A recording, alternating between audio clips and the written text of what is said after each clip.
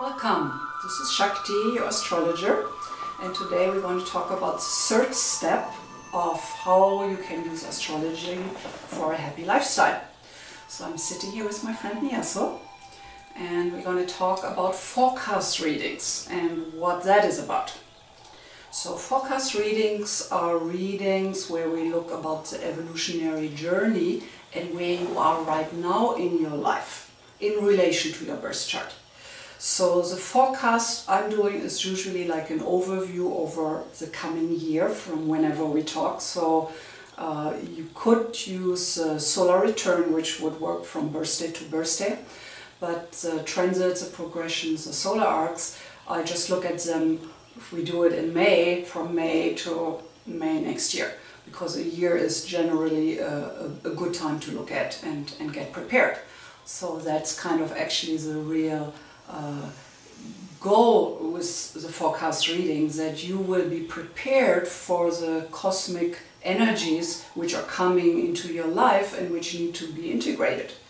I often use uh, the idea of there is a God coming knocking at your door and you have to do something with it. You have to invite him or her in, you have to offer him something. So, so more you know about the personality of the God and, and what that specific energy is, you will have better choices how to implement those forces. Mm. So, so basically it's really the idea to create an awareness of, of who you are and where you are in your spiritual journey. And so you would call the astrological signs the gods that are going to be knocking. Like maybe that Saturn is going to be a little stronger or this kind of stuff. Yeah, there are two ways basically you look you can look at the planets. On one hand, you can look at them uh, in a more neutral way as universal forces, which as a, as a human, when you as a personality, how you express them, you can look at them at as different inner aspects of your personality and how they all mix together. Or you can look at them as universal forces, and our ancestors they used to look at them as gods and goddesses. I mean, Venus, a goddess of love and beauty and, and the arts, uh, and Saturn, you mentioned, uh, uh, is supposed to be a hard transit. So uh, it's, it's good to know what energy they bring to your life because then you have a choice if you're kind of gonna express it more on the low end side, which is generally more when we go and learn through suffering and, and the hard way. And then we kind of evolve and, and the higher road is where we want to go. And the key is consciousness.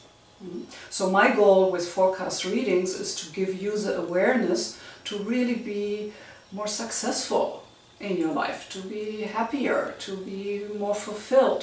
So the idea here in Hawaii, which has, has uh, uh, we, we all know, is to ride the wave. Uh, so riding the wave is actually much easier than trying to fight your way against it. Uh, so astrology helps you to ride the cosmic wave, so to speak. It's beautiful. And that's what we're actually going to do today. Mm -hmm. So if I got you interested in your own personal astrology and using all these different uh, possibilities astrology offers us, then I would first uh, invite you to subscribe up there for other videos so you're going to be automatically informed when there is something else available for you. And also you could go through my, to my website, Maui Astrology Reading, where you can read up and, and get deeper in what is really the first step you, you would like to take. I usually suggest to start with your birth chart reading because as I said it's kind of the base, uh, the ground zero where everything else builds onto.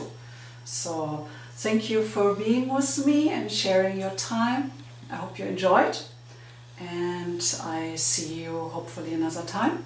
Aloha.